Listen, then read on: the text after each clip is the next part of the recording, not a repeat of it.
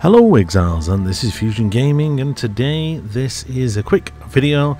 We're on day 10, just wanted to give a quick update on where I am up to with the build. The build is absolutely smashing it and we're going to have a good chat about it in a minute. If you are new to the channel, welcome, welcome.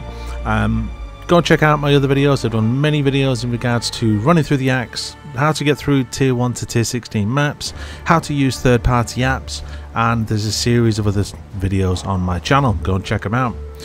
But today, let's jump straight into the build. So today, um, if I remember rightly, last the last video I did on day 5, we discussed the fact that I was just doing Penance Brand. I am now into that build and it is absolutely monstering content. I did use yesterday, I did an Uber Maven. Um, didn't really drop much. I think I dropped in um, an Awakened, like, thought, what did I drop now? Awakened, okay, Awakened uh, Unbound Ailments, that was the one. And didn't get didn't get a Progenesis, unfortunately. uh, I did an Uber Cortex. I haven't done a Uber Searing Exarch or Eater of Worlds as of yet, but I do feel that the build is doing very, very well at the moment. I'm not going to spend 20 minutes going through every single item here, but if anyone wants to know, the build at the moment is doing around about 103 million DPS. That is in terms of Guardian, uh, Guardian Pinnacle boss, and in terms of Uber, uh, sorry, Uber DPS, it's currently doing around about 34 million DPS.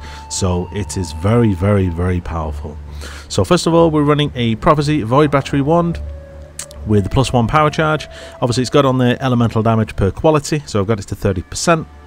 I'm then running a Will Clash helmet, which has got another corruption of plus one power charge, and it's also got plus two to socketed lightning gems, which is always amazing. And I have in there a Penance brand of conduction, so that is basically the clearing skill. So I use that when I'm running around maps and I'm clearing big packs. Also on there, as you can see, you get increased spell damage per power charge, and you get increased um, sorry, chance to block, sorry, block spell damage per power charge and elemental damage per power charge. The other mods that are on there don't really matter because we are running Ralakesh's Impatience Boots, which since the rework in the last patch, they are pretty much busted. It means that you count as always having the maximum number of power, endurance, and frenzy charges. So, as per this, it says here that you lose all power charges when you block. Well, no, I don't, because I always have maximum but what I am gaining from this is the chance to block spell damage and the elemental damage. The shield, I'm picking up another two power charges. You then have increased damage, spell damage again per power charge. And again, it says there lose all power charges, but I don't because of the boots. So again, doesn't matter and it says there that I shock when I reach maximum power charges, which I am always at maximum power charges, which means that I always shock, which is amazing. Shock always inflicts a nice big chunk of damage. Next thing is I am then running a Badge of the Brotherhood. Now with the Badge of the Brotherhood, it then increases your frenzy charges equal to that of your power charges. So at the moment I am running 12 power charges, so that means that I now have 12 frenzy charges, which frenzy charges provide you with a decent bonus in terms of stats. Frenzy charges will provide you with a cast speed modifier and a damage modifier and an attack speed modifier. Now that is pretty big, obviously 4% more damage per frenzy charge and I have 12. Next thing that I am running then is a Graven Secret Belt. Now this build was slightly concerned in terms of resists. I was a little bit low in terms of resists, so I managed to get a quite a good roll with this one. So this one gives you another power charge. I got a 56 lightning res and I actually got the implicit of elemental res as well to try and help me. The implicit that is on this belt is a block and stun recovery, so it's pretty much a dead mod. You don't really need it. The last items that are in the build are then a nice ring because you are attribute starved because of all the uniques that are in the build. So nice ring that's got a bit of dex, bit of strength, energy shield, a bit of chaos res. The elemental damage of the attack skills is a dead mod and the non-channeling skills again helps in terms of uh, in terms of cost but it's not really needed. Next thing is again more attributes, strength and dex, physical damage against not needed, fire resist, I did need fire resist, and it's got energy shield. That is basically it. Now you probably noticed that on none of my items I don't have any life. Look at the gloves as well. Bit of dex, bit of evasion and energy shield, bit of mana, ton of resists, and again stun and block recovery was just a dead mod. I did that so that it was blocked out so there was no life. Now the reason why I'm doing this is because I'm wearing the chest that was uh, put into the league last, last, last league in Trial of the Ancestors which is Utula's Hunger. Now if you read on there at the bottom mod it has 1000 to maximum life if there is no life on any other equipped items which is pretty busted. So there, if I don't have any life on anything, then I get a thousand life. Now with all the other increasements on your tree, that does help. It also has a nice chunk of armor on there. It's got 1300 armor and recover 2% of life on kill. That could be 3%, but for what I got there, I think I got a pretty good roll there. Also, because this is a strength base and I needed 6 blue, I managed to get the implicit on the top there for the enchant of increased explicit life modifiers and has no red sockets. I threw around about I think it was around about 200 tainted chromes. So I bought a six link, I corrupted it, and then I threw about 200 tainted chromes at one to test it, and I could not hit six blue. So then I gave up and we did this instead, and we rolled no red sockets, and we managed to hit six blue, I believe, in no more than five chromes, which is ridiculous. Could have saved myself a hell of a lot of money.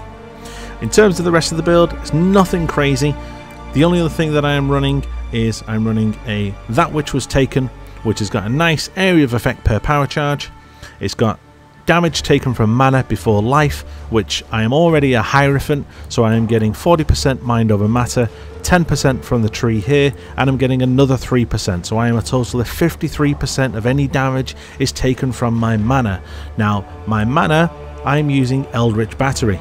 So it's actually taking it from my energy shield. And as you can see here, my energy shield is 1847. So 53% of damage that hit me is taken off that shield first. The last one there, critical strike multiplier per power charge is huge. The bottom one is a dead mod, but it couldn't I couldn't really get a fourth decent mod without paying nearly a mirror with those top three mods. The rest of the build, again, like I said, it's very simple. I have a nice crit multi, crit multi, crit multi jewel there. I have a, another, um, I have a Watcher's Eye over here, which has got damage leeches life as vitality, penetrates lightning resist affected by wrath, and again, malevolence is a dead mod, but to get those two top ones was very, very, very cheap. And that is pretty much it. And then we're rolling this militant faith which has got on there brand damage and elemental resistances because you are starved for elemental resistances. So when you take this, it then helps you with your resists. You then obviously get, if you get the right one, so Dominus, High Templar Dominus, you then get this Keystone, which gives you even more spell damage per power charge. Okay, and the last thing is in terms of survivability, it is very, very tanky. You have nearly 30% damage recoup right here. I am running a 10% 10% less physical damage taken while on full energy shield. Well, I am always on full energy shield. I have got a, light, spell damage leached as energy shield node there. I'm converting my physical all to lightning. And let's go over to the left side. I am corrupted blood immune. I've got a nice chunk of chaos res. So if we have a look at my resists here, 76, 76 and 67. We got nearly 11,000 armor and 7,900 evasion. If I pop all of my flasks, we're at 15,000 armor and again, it's still 7,000. That doesn't change. But obviously in terms of block as well, the block is obviously at 75 and it goes up to 32. So the block is relatively good as well. Down here we're picking up more resistances, more armor. Again, armor applies to our chaos damage taken, and again down here we have more life, more armor and less damage taken from crits. Then final thing is in terms of charms, we take a crit strike multi per power charge and chance to block attack damage. Same again, crit multi per power charge. And final one, I wanted crit strike chance at maximum power charges and I added another 15% resist in there as well to try and help me. That is pretty much the build in its entirety. If you are wanting a copy of the POB, put it in the comments and I can always provide it. I just I didn't know if anyone wanted to run this build, but it is very very strong. It's very very powerful. In terms of single target damage, you would use Penance Brand of Dissipation, you put it in a 6 link, and if you want a clearing skill, then you would use Penance Brand of Conduction. At the moment, I am just mapping, just going through. I have completed my atlas pretty much. There is one map that I have not seemed to drop yet, which has been a bit of a pain, which is Acton's Nightmare. Uh, a friend of mine did borrow it with me last night, so I do have it. I just haven't ran it yet. But it's a case of that there's no real. The only thing I'm going to get is one more skill point, and that's pretty much it. Other than that, there's nothing else more to do. I've had I've been doing some sextant rolling, I've made quite a bit of money and I've thrown it all into the build. In terms of the actual uh, season itself, if you're enjoying the league and you're getting some good drops, so you're having some crazy drops like some other streamers have seen dropping 70 divines or 100 divines from one monster, throw it down in the comments, let me know, and I will be sure to give you a mention in the next video. Other than that, thank you for watching, stay safe, and stay sane, Exile.